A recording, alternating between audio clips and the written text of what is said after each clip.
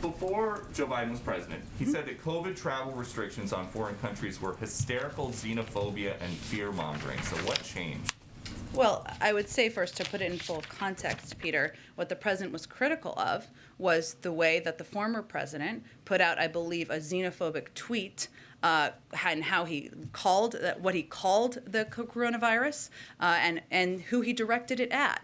The president has not been critical of re- travel restrictions. We have put those in place ourselves. We put them in place ourselves in the spring. But no, he does not believe. He believes we should uh, follow the advice of health and medical experts. That's exactly what he did in putting in place these restrictions over the weekend. Okay, we saw the president shopping indoors on Saturday behind glass that says face covering required, but his face was uncovered. Why?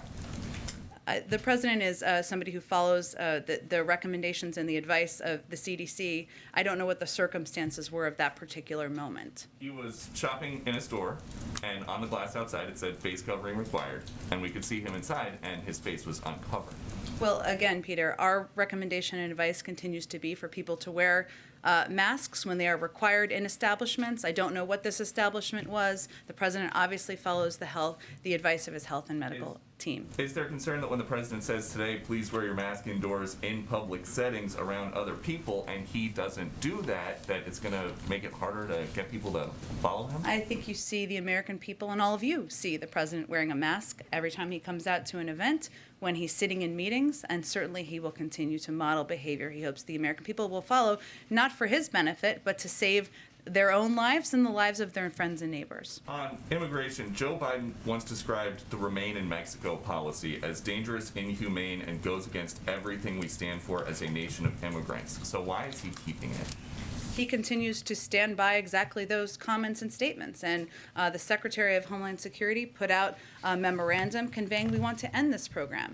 Uh, but we also believe in following the law, and that's exactly what we're doing. As there was uh, a, there was a ruling uh, that required us moving forward with implementation. And then last one, since the president said that this administration is monitoring the situation in Waukesha closely, it has been revealed by prosecutors that the assailant, the assailant swerved his truck side to side as part of an intentional act to run over as many people as possible. Six people are dead.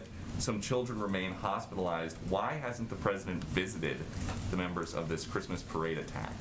Well, I would say first, um, as you saw the president convey last week, our hearts go out to this community, to the people in Waukesha, that we've been in touch, obviously, with officials there, and we're all watching as people are recovering. And this is such a difficult time of year for, for this to happen. It's a difficult any time. Uh, obviously, any president going to visit a community requires a lot of assets, requires taking their resources, and uh, it's not something that I have a, a trip previewed at this plan, point in time, but we remain in touch with local officials, and certainly our, our hearts are with the, the community as they've gone through such a difficult time